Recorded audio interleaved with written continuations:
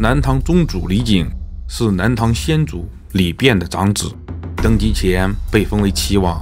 公元943年，李昪去世，李璟秘不发丧，先矫诏让自己监国，大赦天下。过了几日，发现没有听到不同的声音，才宣读遗诏，在陵前即位，改元保大，封其弟李景随为燕王，李景达为鄂王，为其父李昪上庙号为列祖。大家好，今天咱们继续五代演义，我是杨立辉。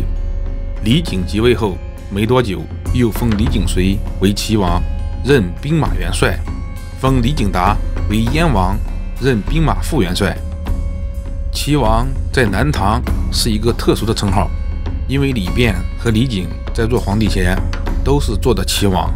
齐王在南唐就类似于储君，那为啥李璟要封李景随为齐王呢？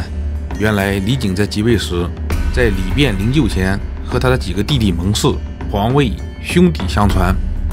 李景随等人一再谦让推辞，李璟就是不肯，就连其长子李弘济被封为南昌王。也是经过大臣劝谏才封的。李璟还有个弟弟叫李景替，他是李昪开国后生的儿子。李昪很喜欢他，他母亲钟氏是一名乐伎，很是得宠。钟氏因宠而骄，找机会就和李昪说李景替才能过人，希望立李景替为储君。李昪觉得他狡猾，就贬黜他为尼，并且故意不给李景替封爵。李昪去世后。钟氏心中惶恐，担心李景报复，但李景疼爱同胞，还加封李景替为保宁王，并把钟氏接回宫中安养。宋其秋是李昪重臣，任中书令，他治世功高，结党擅权，李璟就把他改派为了镇海军节度使。宋其丘心中不平，就求告老还乡，李璟竟然丝毫不挽留，直接就同意了。宋其丘是九华人。李璟赐他为九华先生，封青阳公。之后任用陈觉为枢密使，魏琛、查文辉为枢密副使，冯延己、唐孟熙为翰林学士，冯延鲁为中书舍人。这六人中，除了孟尝熙外，其他人整天不干好事，个个善于结党营私、专横跋扈。南唐人合称这五人为五鬼。孟尝熙屡次进言说他们不能重用，但李璟听不进去。没多久，李璟想传位给李景随，让他先掌管朝政，只允许冯延己等人可以直接给自己上奏，其他人非召见不得觐见。许多奏书也都被留中不发。侍卫军都虞侯贾崇强行觐见说道。臣侍奉先帝三十年，先帝善纳忠言，孜孜不倦，尚且还考虑下情不能上达。现在陛下刚刚即位不久，何人可以相信？为何要和群臣断绝联系？陈年事已老，恐怕以后难以再见天颜了。说着无言而泣。李景为之动容，给他赐座，并赏赐了饭食，然后就撤销了前令。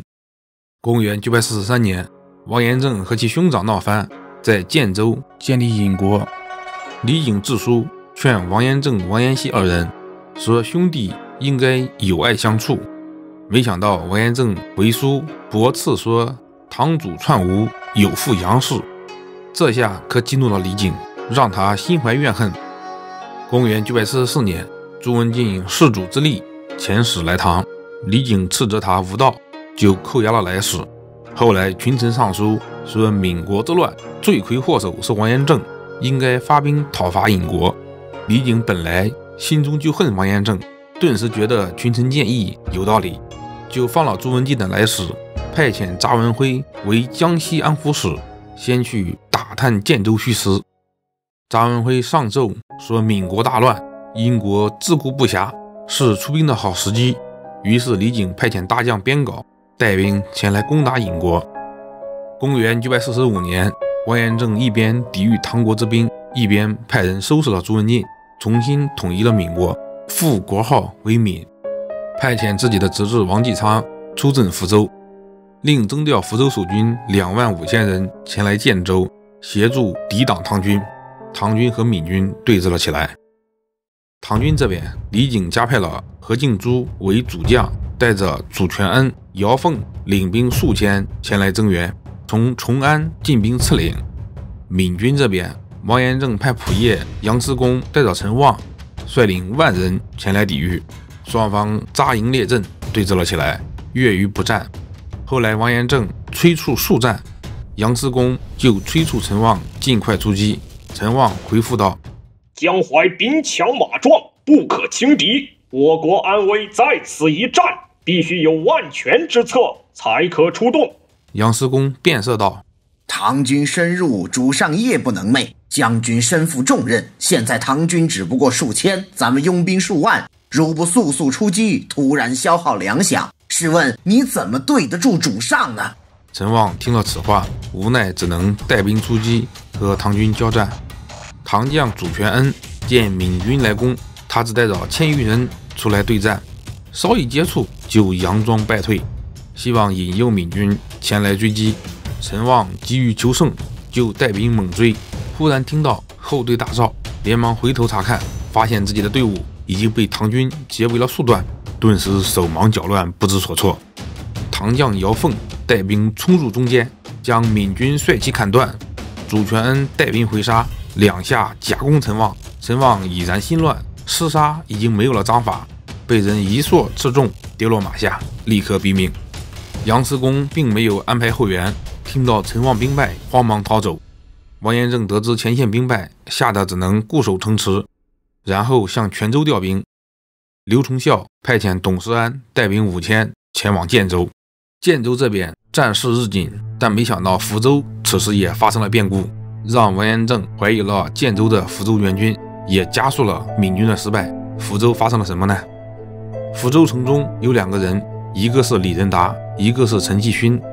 李仁达之前是福州指挥使，后来背叛王延熙，投靠了王延政。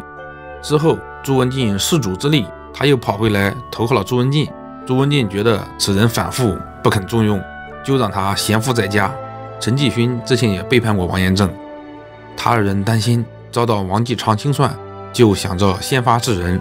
王继昌来到福州，整日里嗜酒如命，不惜军事。王延政知道王继昌性格，派了黄仁讽。带兵保护王继昌，但王继昌瞧不起黄仁讽，这让黄仁讽心怀不满。李仁达、陈继勋找机会和黄仁讽说道：“现在唐军乘胜南下，建州危急，富沙王连建州都顾不了了，哪能顾及到福州？以前王朝兄弟都是布衣出身，拿下福州尚且易如反掌，何况我等有此良计，难道我们还不如王朝兄弟吗？”黄仁讽听后默不出声，只是点头表示同意。李仁达、陈继勋争取了黄仁讽，回来后秘密召集党羽，趁夜闯入王继昌府中，杀死了王继昌。吴承义听闻王继昌被杀，连忙来援，但无奈乱军人多势众，也被乱军所杀。李仁达本来想自立为主，但恐众人不服，就特意找到薛峰氏的僧人卓延明，说他两眼重孔。垂手过膝，有天子相，于是就拥立卓延明为主。卓延明脱掉僧衣，换上滚龙袍，面南而坐。李仁达率众参拜，改用晋国年号，称天福十年，然后遣使到汴梁上表称臣。王延政知道了福州变故，立马诛灭了方仁讽全家，派张汉贞带领水兵五千前往征讨福州。方仁峰得知全家被灭，心中怀恨。他见张汉贞带兵前来，自己亲自带领数千弓箭手射击来船。张汉贞见箭雨密集，战舰被射得无法前行，就想着带兵回撤。不料江中突然出现了许多小船，船上带着水兵，都是前来捉拿张汉贞的。张汉贞没有防备，被水兵活捉，其他人或逃或死。之后，黄仁讽一刀砍了张汉贞。卓延明就是个摆设。只会在殿中诵经，其他事情都交给了李仁达处理。李仁达自任判六军诸卫士，让黄仁讽守西门，陈继勋守北门。黄仁讽后来想象自己的所作所为，突然良心发现，心中有愧。他对陈继勋说道：“人生在世，最重要的是忠信仁义。我背叛富沙王，忠在哪里？”富沙王以子托我，我反而帮助乱党，信在哪里？最近又和建州兵交战，杀了很多故乡人。人在哪里？抛妻弃子，被人屠戮，意在哪里？我是一个罪人，死有余辜啊！说着，泪如雨下。陈继勋劝道：“大丈夫建功立业，哪里顾得到妻子？这事以后不要再提了，免得烟祸上身。”二人的谈话被旁人偷听到了，报给了李仁达。李仁达就找机会派兵捕杀了此二人，斩首示众。李仁达想除掉卓延明。他找机会集结将士，让卓延明检阅。卓延明来到教场，坐下开始打禅。李仁达给部下使了个眼色，将士们会意，直接上台刺杀了卓延明。李仁达佯装惊慌，想要逃走，但众将士堵住李仁达，拥簇着坐上了卓延明的位置。李仁达自称威武军留后，使用南唐保大年号向南唐称臣，但也派人给晋国朝贡。李景任命李仁达为威武军节度使。之后，李仁达遣使到吴越，也和吴越国修好。王延政这边，他左右之人说建州的福州之兵在密谋叛变。王延政下令收了建州兵的兵器和铠甲，把他们遣回福州，暗中却出兵埋伏在半路，把福州兵杀得一个不留，共计八千余人，还把他们的尸骨全部拉回来充当军粮。建州其他守军见福州兵惨状，不免兔死狐悲，而且实在吃不下同胞的肉，弄得人人怨恨，士气一落千丈。唐军也加大了攻城的势头，连续攻城数日，侦察得知守军已无斗志，于是架上云梯登上城墙，守军不战而溃，民主王延政无可奈何，只好自负投降。汀州的徐文贞、泉州的王继勋、漳州的王继成。听到建州失守，也相继投降。闽国从王审知割据到王延政投降，历六主，共五十年。王延政被押到升州，觐见了堂主李景，李景赦免其罪，另授他为羽林大将军。所有建州官员一概赦免，只有仆射杨师公，他平时横征暴敛，建州人称他为杨剥皮。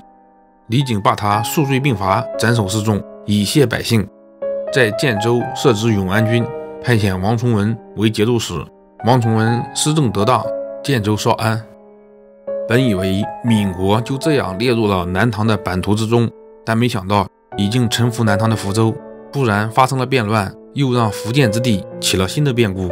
那福州发生了什么呢？